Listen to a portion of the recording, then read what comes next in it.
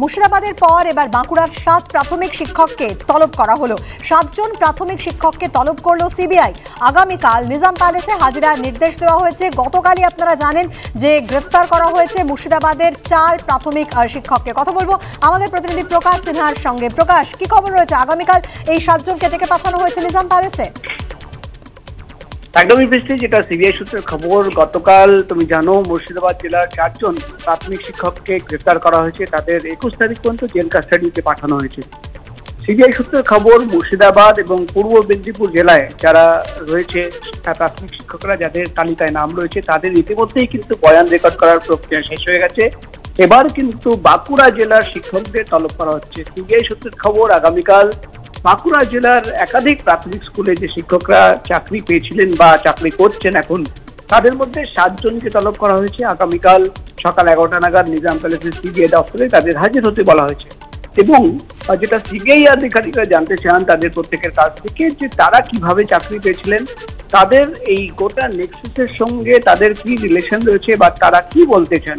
তুমি জানো যে চারজনকে গ্রেফতার করা হয়েছে তারা কিন্তু সিবিআই সামনে ওয়ান সিক্সটি ওয়ানের স্টেটমেন্ট দিয়েছিলেন যে হ্যাঁ তারা টাকা দিয়েছিলেন এবং সেই টাকা দেওয়ার পরেই কিন্তু তারা চাকরি পেয়েছিলেন।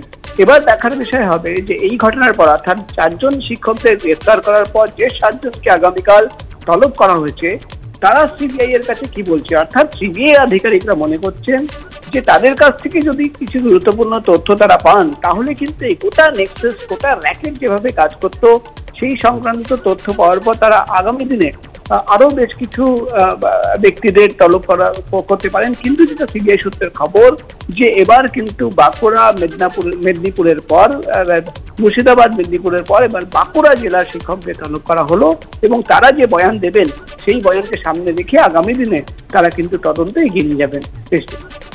ধন্যবাদ, প্রকাশ।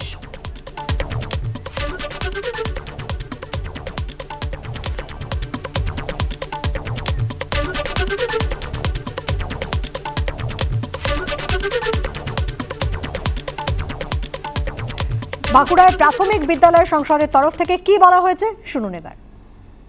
আমি ফিফথ চিঠি পেয়েছি পাঁচই আগস্ট?